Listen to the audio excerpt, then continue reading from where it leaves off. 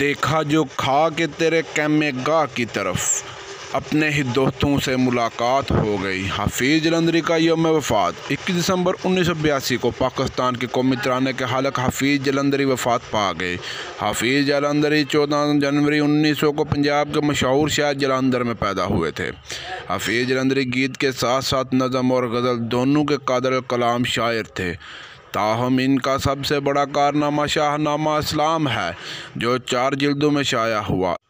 اس کے ذریعے انہوں نے اسلامی روایات اور قومی شکوا کا حیا کیا، جس پر انہیں فردوسی اسلام کا خطاب دیا گیا۔ حفیظ جلندری کا دوسرا بڑا کارنامہ پاکستان کا قومی ترانہ ہے۔ اس ترانے کی تحلیق کی وجہ سے وہ ہمیشہ یاد رکھے جائیں گے۔ حفیظ جلندری کی شاعری مجموع میں نغمہ بار تلحابہ شیری اور سوز و ساد افزانوں کا مجموعہ۔ ہفتہ پیکر گیتوں کے مجموعے ہندوستان ہمارا ہے۔ پھول مالی اور بچوں کی نظمیں اور اپنے موضوع پر ایک منفرد کتاب چونٹی نامہ حسوسن قابل ذکر ہے۔ حفیظ جلندری نے اکیس دسمبر انیس سو بیاسی کو لاہور میں وفات پائی۔ وہ منار پاکستان کے سائے تلے افسدہ حاک ہیں۔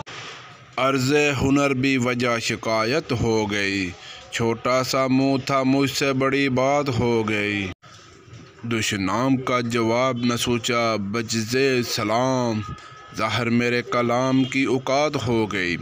دیکھا جو کھا کے تیرے کیمے گاہ کی طرف اپنے ہی دوستوں سے ملاقات ہو گئی۔ یا ضربت حلیل سے بتحانہ چیہ اٹھا، یا پتھروں کو معرفت ذات ہو گئی۔ یاران بے باست کی ہر بازی حیات۔ کھلے بغیر ہار گئے، مات ہو گئی۔ بے روم دن گزار لیا، رتجگا مناؤ۔ اے اہل بزم، جاگ اٹھو، رات ہو گئی۔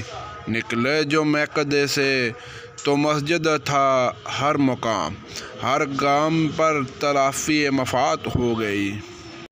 حد عمل میں تھی تو عمل تھی یہی شراب۔ رد عمل بنی تو مقافات ہو گئی۔ اب شکر نہ قبول ہے، شکوہ فضول ہے۔